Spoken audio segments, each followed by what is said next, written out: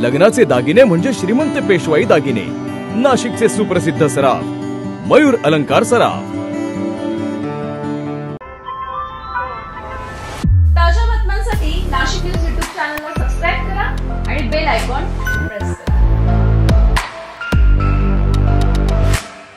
दोन दिवसापासून नाशिक शहरात सुरू असलेल्या पावसामुळे गोदावरी नदीच्या पाणी पातळीत पुन्हा एकदा वाढ झाली.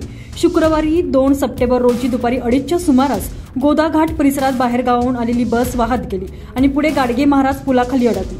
गोदा पात्रातील पाण्याचा अंदाज न आल्यानं चालकाचं बसवरील नियंत्रण सुटलं त्यामुळे ही घटना घडली. ही बाब लक्षात येताच तात्काळ मदतकार्य राबवत बसमधील पस्तीस प्रवाशांना सुरक्षितरित्या बाहेर काढण्यात आलं. तीन तासाच्या प्रयत्नानंतर ही बस अखेर पाण्याबाहेर काढण्यात यश आलं.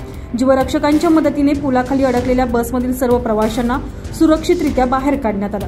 तीन तासाच्या प्रयत्नानंतर ही बस पाण्याबाहेर काढण्यात यश आलेलं आहे.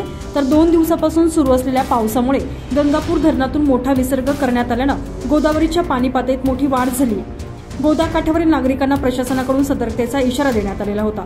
तर गोदावरी नदीला येणाऱ्या पुराचा इंडिकेटर म्हणून मानला जाणारा दुतोंड्या मारुतीच्या कमरेपर्यंत पाणी देखील आलेलं होतं. शुक्रवारी सकाळपासूनच ऊन पडलेलं होतं. तसेच नदीची पाणी पातळी देखील सायंकाळपर्यंत आता खाली आलेली होती.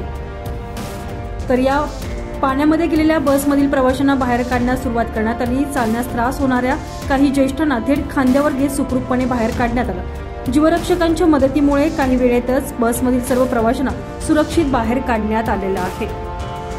संजय परमार नाशिक न्यूज नाशिक.